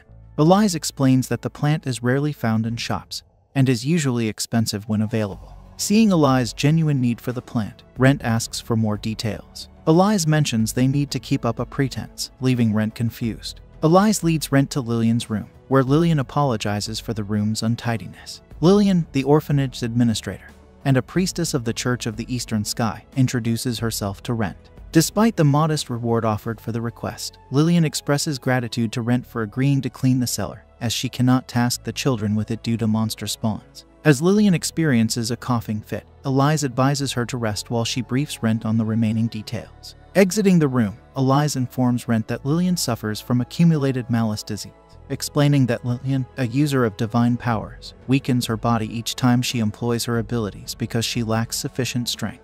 Rent was unaware of such a serious illness. Elise explains that a healer examined Lillian and suggested that she either undergo a saint's purification or receive a special medicine to be cured. Understanding that the dragon blood blossom is needed to create the medicine, Rent grasps the urgency of the situation. He realizes that Lillian is unaware of her illness, and Elise reveals that if she knew, she might step down from her role as a priestess. Rent understands that if that were to happen, Lillian would accept her condition, so he decides to assist Elise in obtaining the plant before it's too late. Elise had thought no one would accept the request, which is why she contemplated becoming an adventurer to retrieve the plant herself. Rent is taken aback by her revelation. Despite being skilled in mana ability, Elise admits she lacks time to train. Rent assures her that he will procure the flower, and she expresses her gratitude. However, he decides to clean out the cellar first. As Rent enters the cellar, Elise follows him despite his protests. Concerned for her safety, Rent offers her a dagger for protection. Elise is surprised to learn about the monsters in the cellar, particularly the unusually large monster rats. Rent activates his divine power, causing the rat leader to command its fellow rats to flee. Despite this, the leader charges at Rent, who swiftly deflects its attack. The rat tries again, this time biting Rent's arm. Rent removes it and throws it to the ground. Suddenly, the rat falls under a spell, its appearance changing. Rent realizes he now controls the rat and gives it commands, surprising Elise. He decides to take the rat with him. Lorraine is astonished to see Rent with a rat on his shoulder. Rent explains that the rat is now his ally, similar to how vampires control others. Lorraine hadn't previously considered Rent's ability to control creatures using his blood. Rent decides to keep the rat, while Lorraine takes samples from it as payment for staying. She plans to study it further. Curious about its diet, she offers her finger, and the rat eagerly drinks her blood, similar to Rent. Rent decides to name the rat Black, but Lorraine prefers the name Edel, and surprisingly, the rat agrees with her choice. Lorraine wonders if Rent can communicate with the rat, but he explains that he can only sense its emotions. That night, Rent struggles to sleep, considering non-stop exploration of a labyrinth, but he knows it would raise suspicion among the guild members. Lorraine enters the room and offers Rent some food for his early departure the next day. Rent is surprised by Lorraine's cooking skills, but she reprimands him for underestimating her abilities. She warns him about the dangers of the swamp and surprises Rent by knowing his destination. She asks if he plans to go alone, to which he replies affirmatively, confident that the swamp's poison won't affect him. However, she reminds him that he'll need a party to confront the dragon subspecies in the swamp. Rent explains that he doesn't intend to fight it and shows her the holy water he acquired. While Lorraine recalls rumors about holy water repelling monsters, she cautions Rent that it's not a foolproof solution. Rent assures Lorraine that he'll come up with a solution if the holy water doesn't work. He then begins to enjoy the meal, surprised by its delicious taste, which he hasn't experienced in a while. Lorraine reveals she added a drop of her blood to enhance the flavor and promises to prepare more for him upon his return. After taking a carriage to the swamp, Rent disembarks and the driver informs him of their scheduled pickup later in the day. As he enters the swamp, Rent wonders if Edel can withstand the poison, but he trusts his ability to purify the rat with his divinity if needed. Following a path left by previous adventurers, Rent encounters a group of goblins who attack him with arrows. Despite their strength and knowledge of weapons, Rent confidently defeats them with his superior skills and strength, swiftly taking down each goblin with his sword. Rent continues walking through the swamp, feeling content that his undead nature makes him immune to poison. He reflects on the idea of living as an undead indefinitely, as long as he can accept his altered appearance. Suddenly, the wooden path beneath him collapses, causing Rent to fall into the toxic swamp below. Seizing the opportunity, a swamp shark charges at him, prompting Rent to defend himself while Edel observes from a distance. Despite the surprise attack, Rent manages to defeat the sharks, though he becomes more cautious afterward. Disappointed in Edel's lack of concern, Rent picks up the rat and continues on guard. Meanwhile, Sheila expresses gratitude to Lorraine for the delicious food, unaware that Lorraine added her blood to Rent's meal to enhance its taste. Sheila is surprised that Rent, being undead, can consume regular food, but Lorraine clarifies the situation. Sheila then shares news about the guild's investigation into the events at Todd's village, where the villagers refused to disclose the adventurer's identity. Lorraine realizes that Sheila came to inquire if Rent was involved, but she assures her that Rent won't reveal any information to avoid further suspicion, especially regarding a kidnapping incident. Sheila is amazed by Lorraine's knowledge about Rent, and Lorraine reveals that she has known Rent for a long time. Sheila questions why Rent aims to become the top adventurer, but neither she nor Lorraine knows his motivation. Lorraine explains that she has never asked Rent about it because adventurers are usually secretive about their pasts, and she didn't want to pressure him for an answer. When Sheila expresses concern about Rent facing monsters in the swamp, Lorraine assures her that the guild assigns requests based on an adventurer's abilities. Sheila admits she chose Rent for the task because she trusts his capability. Lorraine echoes this trust in Sheila's judgment and believes that Rent can handle any trouble he encounters. Meanwhile, Rent finds himself pursued by swamp dragons and regrets purchasing low quality holy water. As he reaches a dead end, he decides to confront the monster head on. Despite jumping from a tree to attack, he is caught off guard when the monster releases poison. Rent slices through the poison and attacks the monster with his sword infused with mana. Although poison doesn't harm Rent, he doubts he can defeat the monster with just his mana. Attempting the Mana Spirit Fusion technique fails against the monster. Surprisingly, Edel charges at the monster, using divinity powers, shocking Rent. As the monster swallows Edel, Rent prepares to rescue him, but the monster chokes and spits out Edel. Rent catches Edel and gets an idea to defeat the monster. Infusing his sword with divinity, Rent charges at the monster. Dodging the poison globs the monster spits, Rent strikes the monster with his divinity-infused sword, easily defeating it. Recognizing the monster's weakness to divinity, Rent decides to store it in his magic pouch since he can't carry it due to its size. Though expecting to fight the monster due to his bad luck, Rent is thankful Edel showed him how to defeat it. Planning to return later for rare materials, Rent discovers a large cluster of dragon blood blossom plants, purifying the surrounding air. Introducing himself, a man approaches Rent, surprised to find someone else in the swamp. Rent asks the man if he's alone, and the man confirms that he is. Rent warns him that the Tarasque swamp is dangerous for a person to be alone in, but the man explains he's prepared with items like poison nullifying items, holy water, and a map. He mentions he's after the dragon blood flower, and asks if there's an issue with him taking some. Rent assures him it's fine, and they both collect flowers. The man takes only one, explaining his mistress needs the flower itself for medicine, as she's very ill. Rent hopes she gets better soon, and the man thanks him, revealing they were seeking someone to regularly bring them dragon blood flowers. He asks if Rent is an adventurer, and Rent introduces himself as a bronze class adventurer. The man, surprised, still offers Rent the job.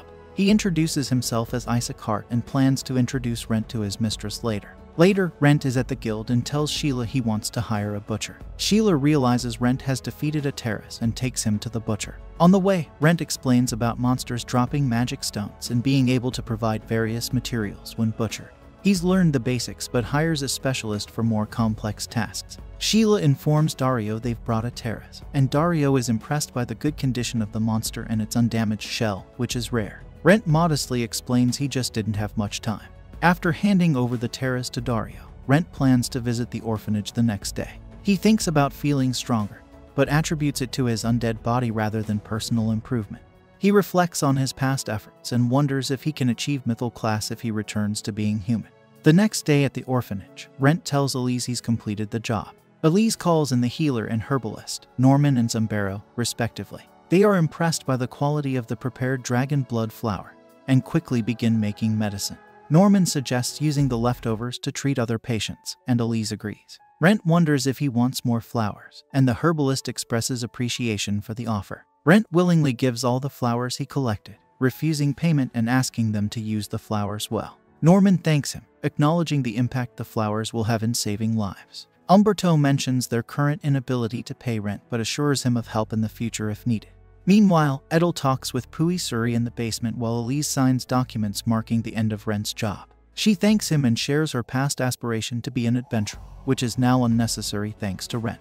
Rent asks if she no longer desires to be an adventurer, but Elise confirms her desire is stronger than before. She expresses her wish to help people like Rent, and promises to assist him when needed. Rent mentions the trouble caused by small monsters in the basement and reveals that Edel's former gang will now protect them. Elise appreciates this and wonders if she can tame monsters when she becomes an adventurer. Rent advises her to start training early, mentioning guild classes and his availability for training. He encourages her to learn magic despite the cost, offering financial support without interest. Elise agrees to repay him with interest once she becomes an adventurer, and they strike a deal. Later, Rent visits Lorraine's house, where she agrees to teach Elise during her free time. However, she criticizes Rent for not understanding young girls' perspectives. Rent denies having many interactions with young girls, which angers Lorraine. She threatens to test a powerful spell on him to see how his body handles it. Ren compliments Lorraine, praising her youthfulness and fair skin, comparing her to the water fairies created by gods. He admires her as the epitome of a young lady. Lorraine becomes embarrassed and leaves to have some alone time, feeling affected by Ren's words. The next day, Ren goes to the guild, where Sheila hands him a letter from Isaac, requesting his presence for a job. Ren recognizes Isaac as possibly being a servant of the Lur household. Sheila explains that the Lur family is influential in Maalt, and advises Ren not to offend them. Despite the potential danger due to his monster status, Ren decides to visit them. Meanwhile, at the orphanage, Umberto informs Lillian that she's sick with Malacula. Lillian expresses gratitude but hesitates to accept the expensive medicine made from dragon blood flowers. Elise reassures her and tells her not to worry about the cost. Umberto reveals that an adventurer took the job from Elise for a low price, and Lillian realizes it was the same adventurer she met earlier. The scene shifts to Ren at the Lur mansion, where he asks the guard for Isaac's whereabouts. The guard directs him inside, cautioning him about the maze within. Ren learns that the maze changes paths due to a special magic item, surprising him. The guard explains that the Lur family collects such magic items. Ren, intrigued by the prospect of receiving a magic item if he clears the maze, seeks advice from the guard who advises him not to rely on the sun. Entering the maze, Ren initially tries to use a magic map but realizes it won't work. Rent concludes that the map only works in labyrinths, but he remains undeterred, relying on his mental map to guide him. However, he soon finds himself lost in the maze. This bring an end to our episode 10. If you enjoyed it then don't forget to like, share and subscribe. After a while, Rent arrives at a place where he encounters Laura, the daughter of the wealthy family, but he doesn't recognize her. Laura acknowledges Rent's determination and encourages him to keep trying harder. Rent expresses his willingness to exert more effort, and Laura advises him to continue in his current direction but mentions that he still has some time to complete the maze. Offering him a break, Laura suggests having tea together. They sit down and enjoy their tea. When Rent sits with Laura, she pours the tea, and Rent points out that she forgot to add the tea leaves. Laura explains that this teapot doesn't require tea to be added each time. It only needs to be added once during its initial use. Rent is impressed and asks where she acquired this magical tool. Laura informs him that there are two types of magical tools, those found in mazes and those crafted by artisans. This particular tool was discovered in a maze about 200 years ago and was valued at around 300 pieces of platinum. Rent was shocked to learn this because one piece of platinum could provide a comfortable life for him indefinitely.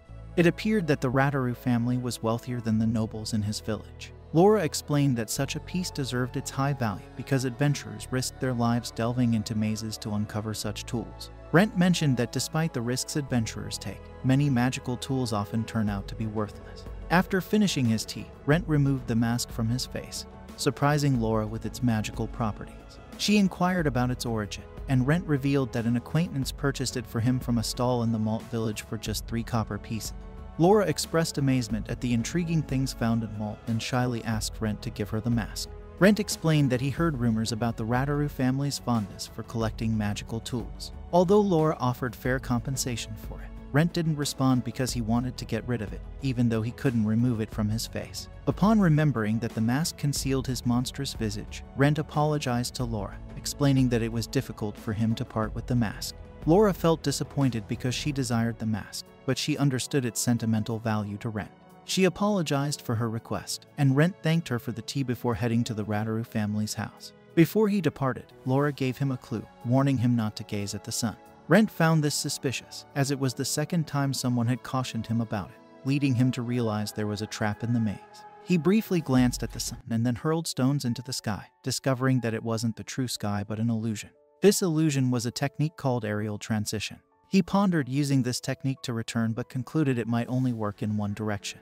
He couldn't believe such a trap existed outside typical mazes. Ultimately, Rent understood that he had to start anew, embarking once again until he reached the Retiro family's house. Laura emerges to greet him, noting that he successfully unraveled the maze's secret. Rent credits the advice he received from someone, and she reveals herself as the lady of the house. Laura expresses her desire for them to be friends from now on, surprising Rent because this girl is the lady of the house. He introduces himself as an adventurer of the copper rank and explains that he came regarding the mission since he managed to overcome the maze. Laura acknowledges that very few can surpass that maze and promises him a reward for it. After entering the house and exploring it, Laura tells Rent that he can choose any magical tool from the ones the Retoro family possesses. Jokingly, Rent requests the tool used to create the maze. However, Laura apologizes, stating they cannot provide him with that tool. Rent then admits he was teasing her because that tool made him spin mercilessly in the maze, so he wanted to tease her a bit. Laura then takes him to a specific place and explains that these tools crafted by artisans are more efficient than others, but the most they can create are simple tools like this light. Rent was amazed by the mysterious tools he found, unsure of where they came from.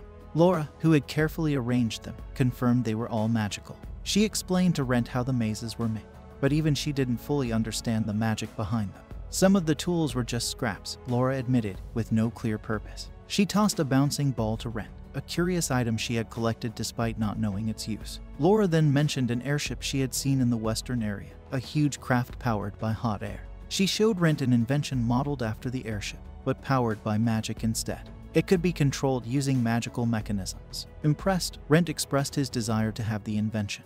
However, he struggled with conflicting feelings, unsure if he should choose something practical instead. Next year, Laura noticed Rent's dilemma and advised him to focus on the invention and take control of it. She explained that it could provide him with an aerial perspective, as if he were flying inside it. Rent found it enjoyable, but noticed that it required a lot of magical energy. Laura clarified that it was just a model for convenience, and the real magical tool was found in one of the mazes. The airship was designed to imitate this magical tool, not the other way around. Since they couldn't understand the magic behind the airship, they used a different technology to operate it. Rent admitted that he initially thought it was just a game, but realized its potential for exploration.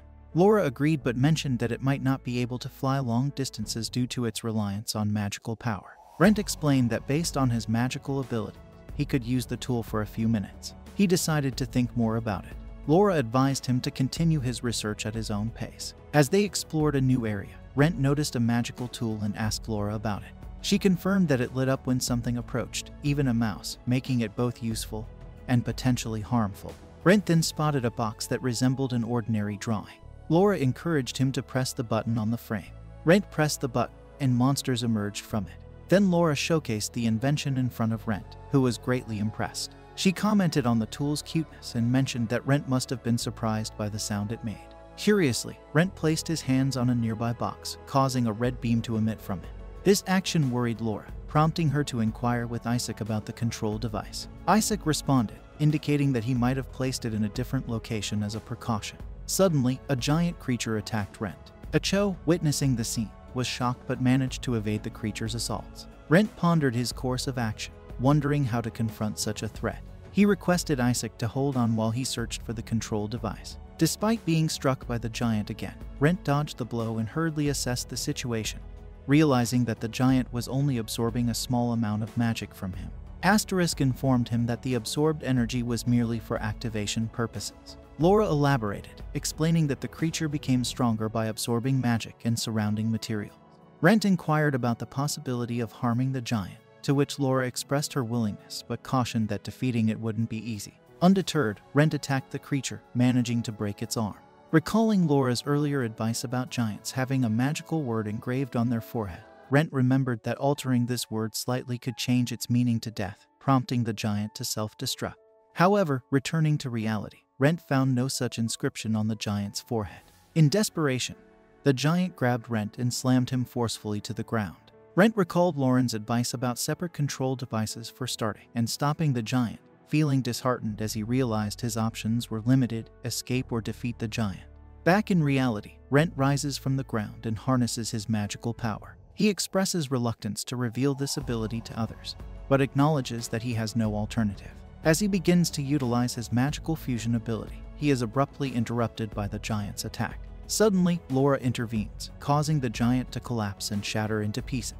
Laura and Isaac approach Rent and inquire about any injuries. Rent apologizes for endangering himself due to his oversight in organizing the storage of magical tools. Laura takes responsibility, stating that as the owner of these items, the blame falls on her. Hunter I also admits fault for mishandling the tools. Laura reassures them that she will instruct the workers to reorganize the room later. Emphasizing the priority of Rent finding the desired tool, Laura encourages him to continue his search. We then see Rent searching diligently, standing in front of his desk amidst various items.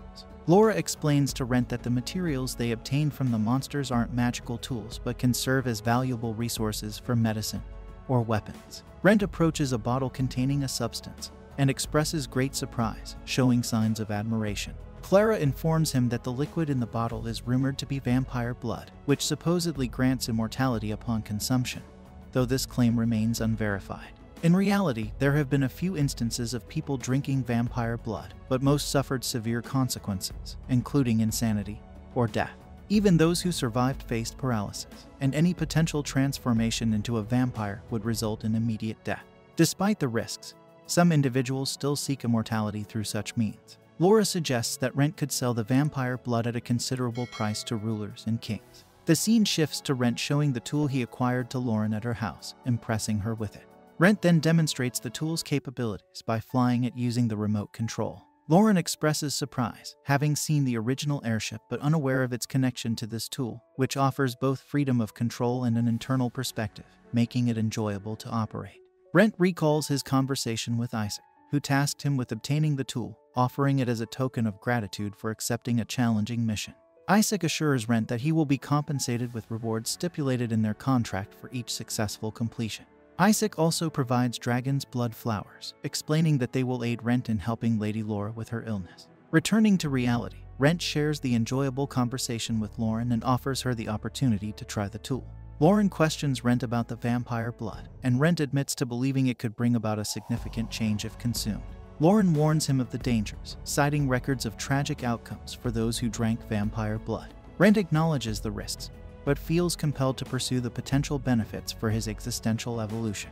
Lauren pleads with him not to drink the blood, offering her support regardless of whether he remains a monster or not.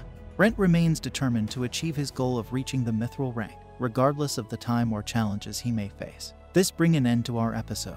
If you enjoyed it then don't forget to like, share and subscribe.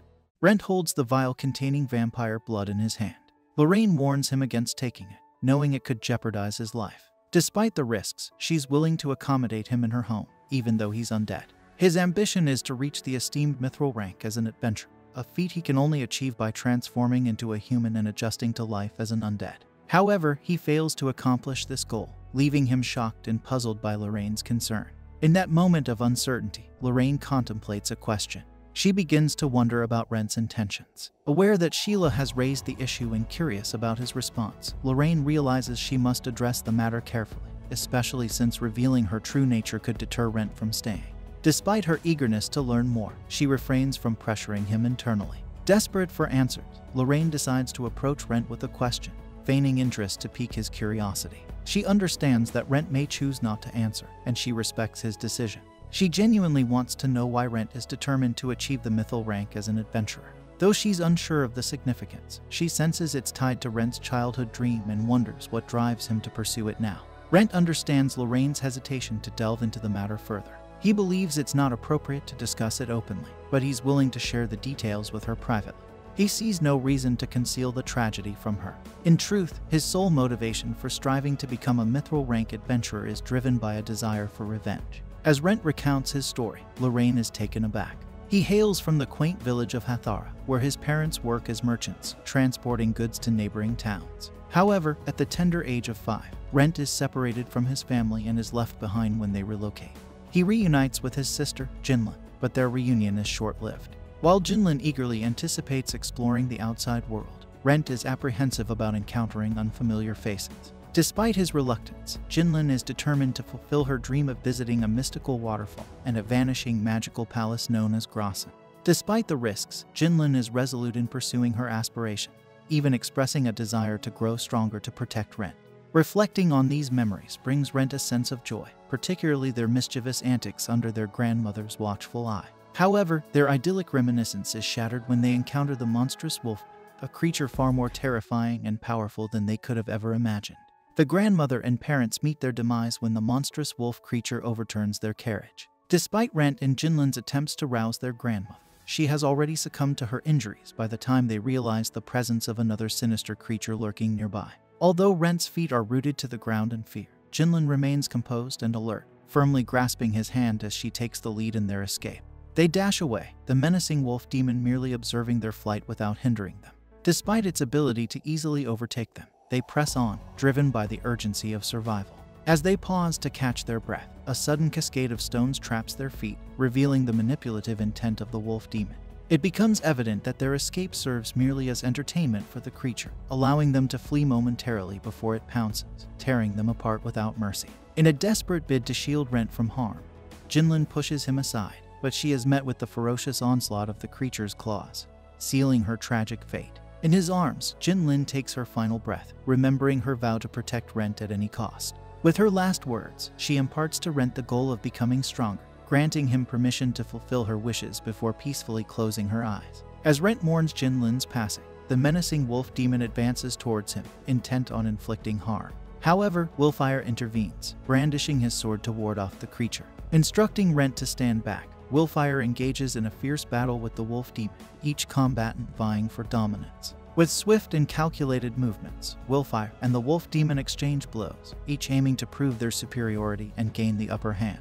Seizing an opportunity, Willfire leaps into the air and thrusts his sword into the creature's body, questioning its intentions as it reels from the attack. Despite the wolf demon's injury, it considers fleeing upon hearing Willfire's words, recognizing the futility of further conflict. Meanwhile, Rentt grapples with overwhelming grief at the loss of his family, unable to contain his anguish. In his sorrow, Rentt expresses frustration towards Willfire's delayed arrival, but Willfire acknowledges his mistake and extends his sincere apology for failing to save Rentt's loved ones. Determined to seek vengeance, Rentt resolves to undergo rigorous training to become stronger and confront the one responsible for bringing death to his doorstep.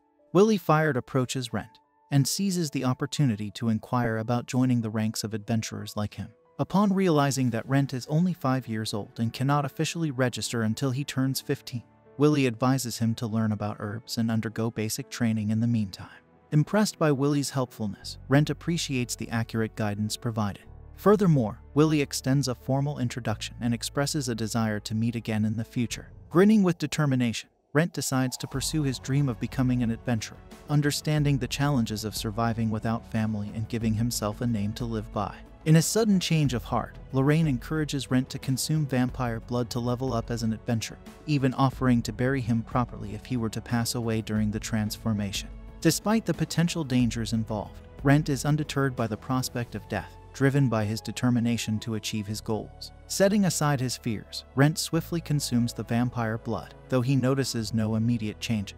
Suddenly, he begins to scream in agony, feeling as though he is drowning in a sea of pain.